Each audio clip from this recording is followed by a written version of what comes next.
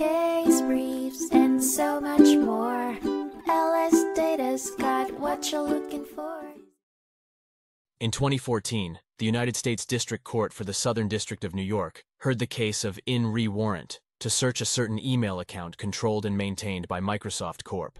The core issue was whether the Stored Communications Act permitted the U.S. government to obtain a warrant for the disclosure of electronic communication content by an Internet Service Provider, ISP, without being limited by the physical location of the documents.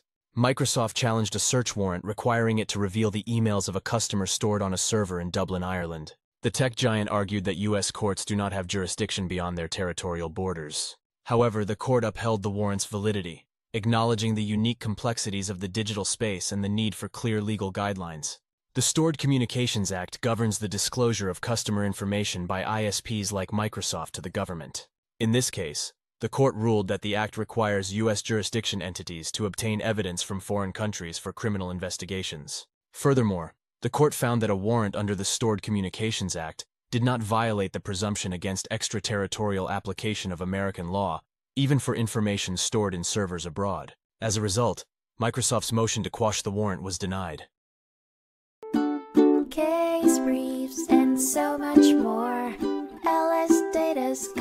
LS Data's got what you're looking for. Visit lsd.law, elevate your mind. Leave the stress of class.